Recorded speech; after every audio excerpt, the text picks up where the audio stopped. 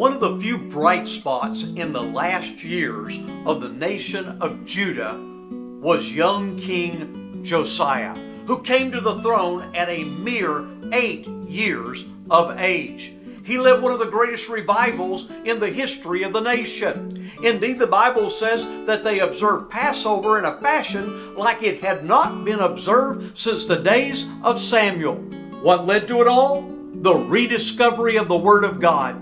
They found the book of the law and they brought it to Josiah. The Bible is always responsible for revival. With no Bible, there is no revival. But the Word of God always leads to the work of God. And that's today's 60 second sermon.